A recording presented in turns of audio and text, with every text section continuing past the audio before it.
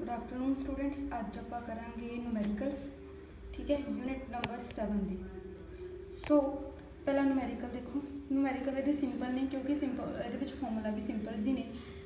ਤੋਂ ਪਹਿਲਾਂ ਨੂਮੈਰੀਕਲ ਹੈ calculate the energy associated in electron volt with the photon of wavelength 400 angstrom ਆਪਾਂ energy ਕੱਢਣੀ ਹੈ ਫੋਟੋਨ ਦੀ ਵੇਵਲੈਂਥ ਸਾਨੂੰ ਕੀ ਆ।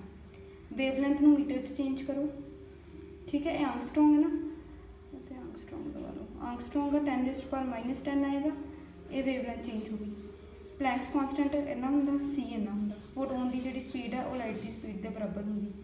So E is equal to X C upon lambda ਠੀਕ ਹੈ? E ਕਿਤੇ ਬਰਾਬਰ ਹੁੰਦੀ ਹੈ? H ਨਿਊ ਔਰ hc upon lambda so value put ਕਰਕੇ ਤੁਹਾਡੇ ਕੋਲ ਇੰਨਾ ਆਨਸਰ ਆ ਜਾਏਗਾ। ਇਹ ਜਾਊਲ ਚ ਆਇਆ। ਇਹਨੂੰ ਇਲੈਕਟ੍ਰੋਨ ਵੋਲਟ ਚ ਚੇਂਜ ਕਰਨ ਲਈ 1.6 into 10 raised power minus 19 ਨਾਲ ਡਿਵਾਈਡ ਕਰ ਦਿਓ। ਠੀਕ ਹੈ? ਸਿਮਿਲਰਲੀ ਅਗਲਾ ਵੀ e ਦਿੱਤਾ ਹੈ। E is equal to h nu ਦੇ ਬਰਾਬਰ ਹੁੰਦਾ। ਇਥੋਂ ਨਿਊ ਕੱਢ ਲਓ e ਅਪੋਨ h ਇਹ ਵੀ ਸਿੰਪਲ ਹੈ। ਨੈਕਸਟ ਵੀ ਸੇਮ ਹੈ। ਉਹ ਵੀ ਸਿੰਪਲ ਹੈ। ਨੈਕਸਟ ਹੈ। ਕੈਲਕੂਲੇਟ ਦਾ ਫੋਟੋਨ એનર્ਜੀ ਵੇਵਲੈਂਥ ਗਿਵਨ ਹੈ। ਫਿਰ ਫਾਰਮੂਲਾ ਉਹੀ ਲੱਗਣਾ ਹੈ। ਠੀਕ ਹੈ। ਵੇਵਲੈਂਥ ਗਿਵਨ ਹੈ। ਉਤੋਂ એનર્ਜੀ ਕੱਟੋ ਤੇ એનર્ਜੀ ਨੂੰ ਇਲੈਕਟ੍ਰੋਨ ਵੋਲਟ ਦੇ ਵਿੱਚ ਚੇਂਜ ਕਰ। ਠੀਕ ਹੈ। ਨੈਕਸਟ ਹੈ। ਵੇਵਲੈਂਥ कटनी ਹੈ एनर्जी ਦਿੱਤੀ ਹੈ। ਸੇਮ ਫਾਰਮੂਲਾ ਲੱਗਣਾ ਹੈ। ਠੀਕ ਹੈ?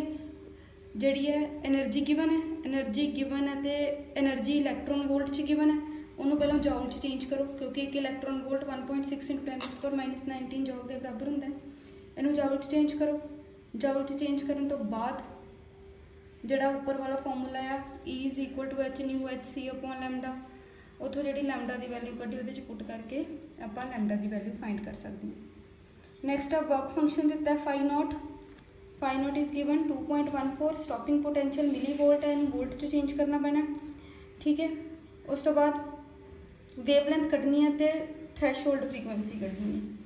ਸੋ ਆਪਾਂ ਜਿਹੜੀ ਆ ਇਕੁਏਸ਼ਨ ਲਗਾਵਾਂਗੇ half M V square is equal to h nu minus phi naught ਇਹ ਹੁੰਦੀ ਹੈ ਆਇਨਸਟਾਈਨ ਇਕੁਏਸ਼ਨ ਇੱਥੇ H ਨਿਊ ਨਾਟ ਹੁੰਦਾ ਹੈ।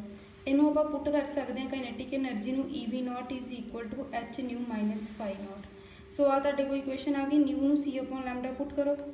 ਕੀ ਆਏਗਾ? E nu is equal to H C upon lambda minus phi naught ਇੱਥੋਂ ਆਪਾਂ ਵੈਲਿਊ ਕੱਢਾਂਗੇ ਲੈਮਡਾ ਦੀ। ਪਹਿਲਾਂ ਫਾਈ ਨਾਟ ਨੂੰ ਦੂਸਰੀ ਸਾਈਡ ਲੈ ਜਾਾਂਗੇ। ਫਿਰ ਲੈਮਡਾ ਦੀ ਵੈਲਿਊ ਕੱਢ ਲਾਂਗੇ। ਤਾਂ ਉੱਥੋਂ ਸਾਡੇ ਕੋਲ ਜੋ ਲੈਮਡਾ ਦੀ ਵੈਲਿਊ ਆਏਗੀ, ਠੀਕ ਹੈ? ਉਹ ਆ ਗਈ ਸਾਡੇ ਕੋਲ ਵੇਵਲੈਂਥ ਇਹ ਆਈ ਮੇਰੇ ਖਿਆਲ ਚ ਮੀਟਰ ਚ ਆਏਗੀ। ਮੀਟਰ ਜਾਂ ਆਂਗਸਟ੍ਰੋਂਗ ਜਾਣੀ ਹੈ ਮੈਨੂੰ, ਜਿੱਥੋਂ ਤੱਕ ਮੇਰਾ ਖਿਆਲ ਹੈ ਚੈੱਕ ਕਰਿਓ। ਠੀਕ ਹੈ? ਉਸ ਤੋਂ ਬਾਅਦ phi phi naught is equal to h nu naught ਦੇ ਬਰਾਬਰ ਹੁੰਦਾ ਉੱਥੋਂ ਜਿਹੜਾ ਆ ਨਿਊ ਨੋਟ ਦੀ ਵੈਲਿਊ ਫਾਈਂਡ ਕਰ ਲਓ ਨੈਕਸਟ ਨਿਊਮੈਰੀਕਲ ਸਿੰਪਲ ਹੈ ਮੋਮੈਂਟਮ ਫਾਈਂਡ ਕਰਨਾ ਮੋਮੈਂਟਮ ਦਾ ਫਾਰਮੂਲਾ ਤੁਹਾਨੂੰ ਪਤਾ ਹੈ। ਨੈਕਸਟ ਦੇਖੋ ਮੈਟਲ ਦੀ ਥ੍ਰੈਸ਼ਹੋਲਡ ਵੇਵਲੈਂਥ ਦਿੱਤੀ ਹੈ ਥ੍ਰੈਸ਼ਹੋਲਡ ਫ੍ਰੀਕੁਐਂਸੀ ਕੱਢਣੀ ਹੈ ਤੇ ਵਰਕ ਫੰਕਸ਼ਨ ਕੱਢਣਾ ਹੈ। ਪਹਿਲਾਂ ਆਂਗਸਟ੍ਰੋਂਗ ਵਿੱਚ ਚੇਂਜ ਕਰਨਾ ਹੈ ਮੀਟਰ 'ਚ। ਹੁਣ C ਹੁੰਦਾ ਨਿਊ ਲੈਮਡਾ ਪਰ ਇੱਥੇ ਆਪਾਂ ਥ੍ਰੈਸ਼ਹੋਲਡ ਦੀ ਗੱਲ ਕੀਤੀ ਹੈ, ਇਸ ਕਰਕੇ C is equal to nu naught lambda naught so ਇਥੋਂ ਨਿਊ ਨਾਟ ਦੀ ਵੈਲਿਊ ਕੱਢ ਲਓ, ਤੁਹਾਨੂੰ ਵੇਵਲੈਂਥ ਗਿਵਨ ਹੈ ਵਰਕ ਫੰਕਸ਼ਨ ਕੱਢਣਾ ਹੈ phi naught is equal to h nu naught ਕਰਕੇ ਤੁਸੀਂ ਕੱਢ ਸਕਦੇ ਹੋ। ਠੀਕ ਹੈ?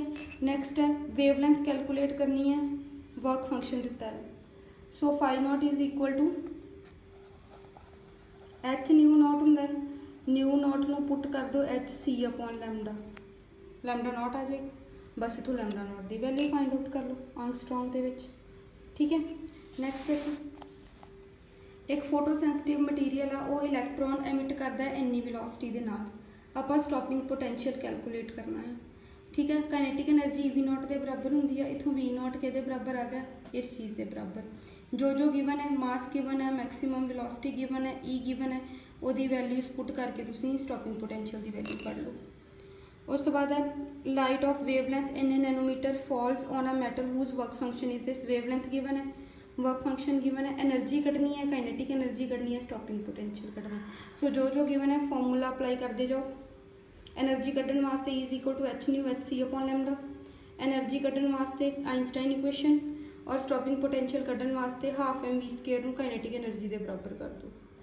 ठीक है तो उतो स्टॉपिंग पोटेंशियल की वैल्यू आ जाएगी।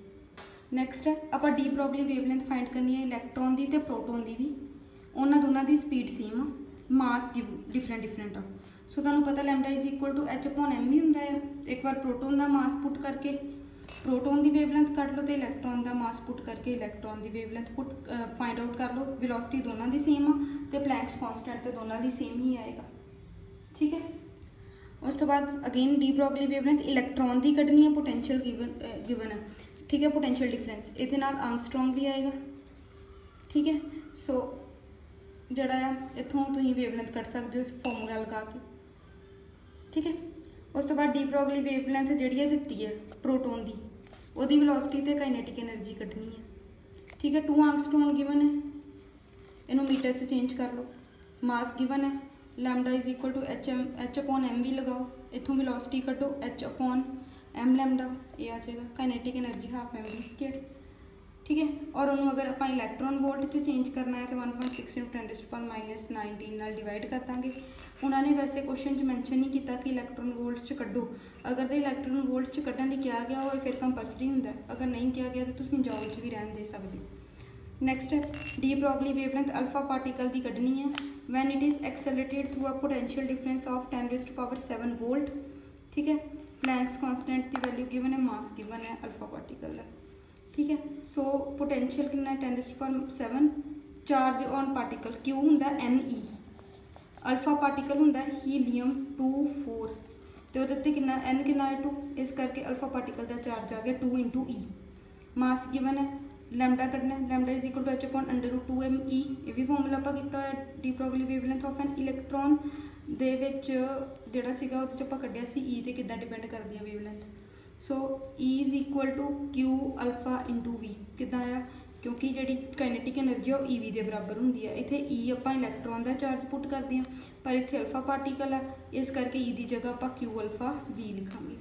ਠੀਕ ਹੈ, ਤਾਂ ਸਾਰੀਆਂ ਵੈਲਿਊਜ਼ ਪੁੱਟ ਕਰਾਂਗੇ ਇਹਦੇ ਵਿੱਚ ਤੇ ਸਾਡੇ ਕੋਲ ਵੇਵਲੈਂਥ ਆ ਜਾਏਗੀ। ਠੀਕ ਹੈ? ਸੋ ਅਗਲੇ ਜਿਹੜੇ ਦੋਵੇਂ ਕੁਐਸਚਨਸ ਨੇ, ਉਹ ਅਗਲੇ ਕੁਐਸਚਨਸ ਸਿੰਪਲ ਹੀ ਨੇ ਦੋ ਤਿੰਨ। ਅਗਰ ਉਹ ਤਾਂ ਉਹਨਾਂ ਚੋਂ ਤੁਹਾਨੂੰ ਕੋਈ ਨਹੀਂ ਸਮਝ ਆਏਗਾ, ਨਹੀਂ ਸੋਲਵ ਹੋਏਗਾ, ਤਾਂ ਮੈਨੂੰ ਪੁੱਛ ਲੈਣਾ।